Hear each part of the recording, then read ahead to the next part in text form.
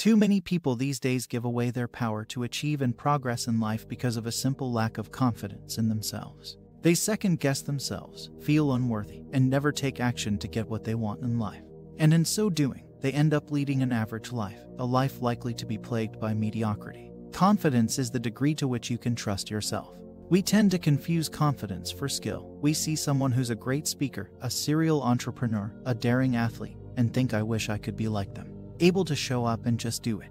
What we don't see is the hundreds of times they tried and it didn't work out. That's how they built their skills, by having the confidence to show up again. Confidence is not knowing that you will win at whatever game you choose to play, it's the certainty that you can take a punch. That, when things won't go the way you want them to, you will keep showing up and take another one on the chin. And again. Because that's the best way to learn and get that level of skill where things work out great most of the time.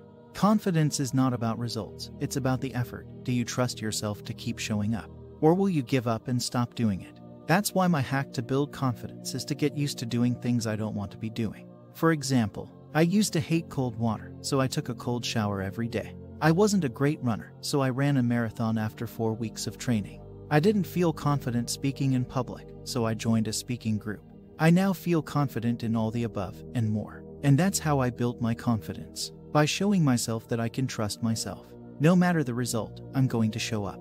Without a doubt, confidence is a critical personal power. With it, almost all things are possible. Without it, well, life will inevitably be a struggle. But this doesn't have to be the case. Not for you or anyone, not anymore. Especially if you put these life hacks for building confidence to use right away. 1. Reprogram yourself. I know, the initial thought of reprogramming yourself sounds a bit out there. But you know what? That's what you have to do. There are two messages you can believe in this world the messages that the outside world would have you believe, or the messages that you would have yourself believe. You see, confidence, in essence, is a deep and unshakable belief in yourself. And when you finally convince yourself that you can accomplish a thing or deserve a thing, you exponentially increase your odds of obtaining that which you desire. And the best way to do this is to program your internal script with affirmations. In short, you have to force yourself to, well, believe in yourself and believe you are deserving of what you want for your life.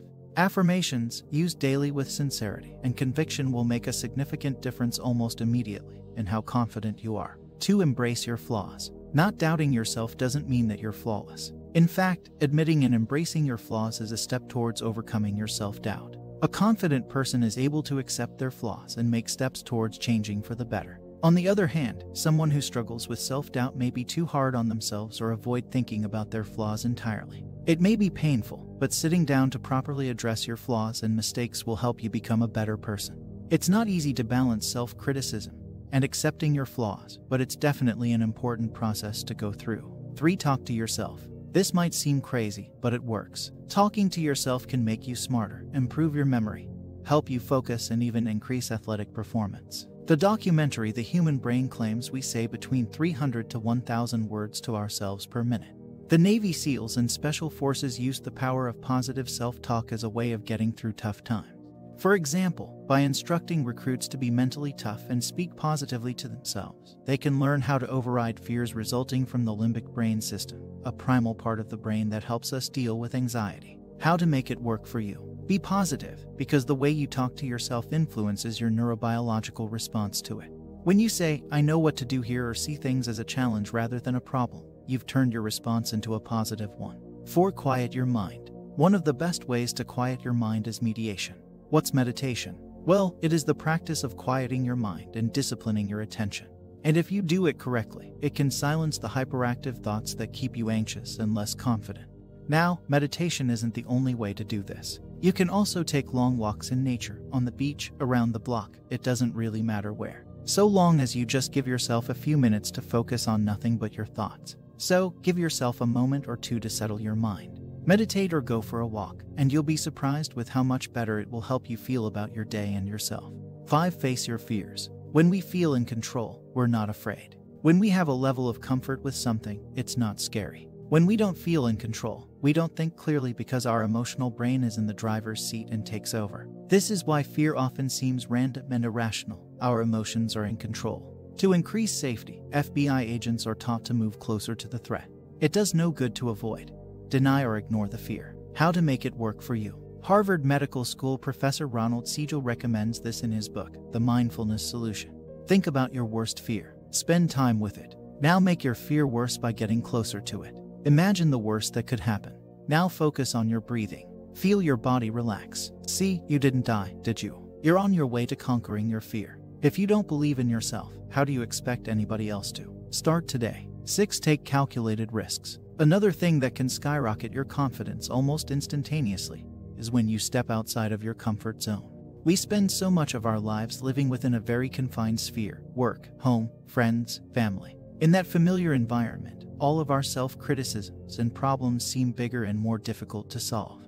But we forget how invigorating it can be to get a different perspective, to challenge ourselves, to take a risk. I'm not talking about doing something physically dangerous. There are many social risks that are just as scary to tackle. Single, grow a pair, and finally approach that girl you've been meaning to talk to.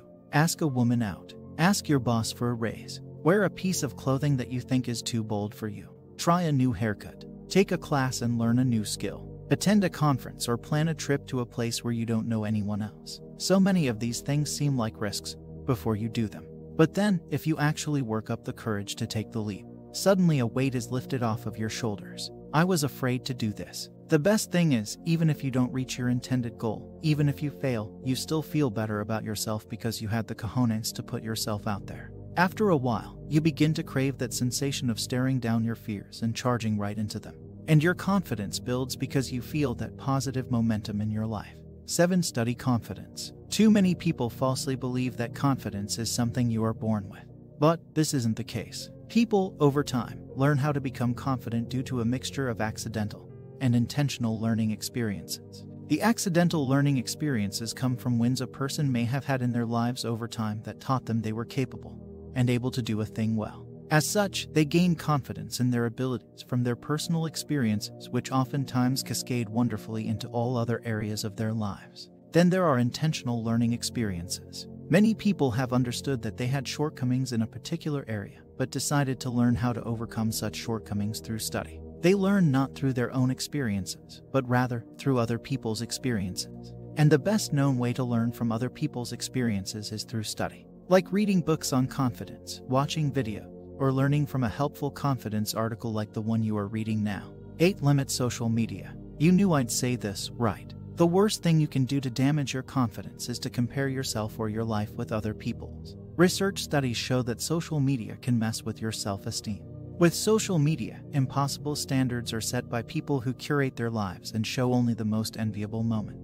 These picture perfect images become the cause of distress for many others, beating down on their confidence levels. The comparisons people make on these platforms are often seen as leaving users insecure as if they aren't able to keep up with others. The FOMO, fear of missing out. It is perfectly okay to measure progress in life, but when done through comparisons with engineered photos, it is a big problem. There are feelings of jealousy and a desperate need for validation.